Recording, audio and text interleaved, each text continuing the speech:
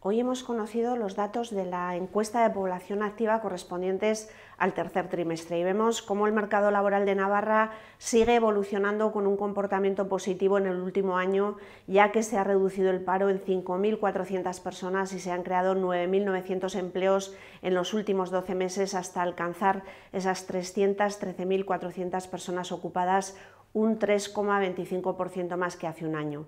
Navarra, con una tasa del 7,7 de paro, sigue con las cifras más bajas de España y se sitúa entre las cuatro comunidades autónomas con las tasas de paro más bajas del país.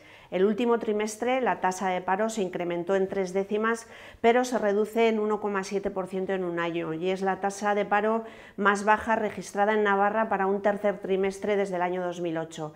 Es destacable que la tasa de paro de jóvenes es también la tercera más baja, con 22,2% tras Cantabria y Baleares. Y este es un dato positivo, ya que estamos realizando importantes esfuerzos para reforzar la orientación al empleo de los jóvenes como uno de, nuestros ejes prioritarios.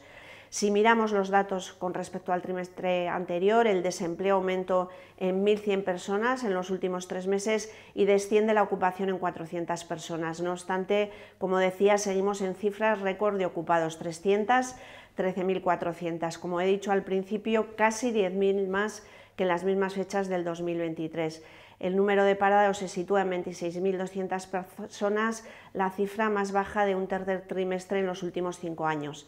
También cabe destacar que la población activa crece en 700 personas en dicho trimestre y en 4.500 personas más en un año. Seguiremos eh, trabajando para mejorar estos datos a través eh, de nuestras políticas activas de empleo y con los nuevos presupuestos de 2025 con eh, importantes partidas para seguir mejorando la empleabilidad de nuestra comunidad.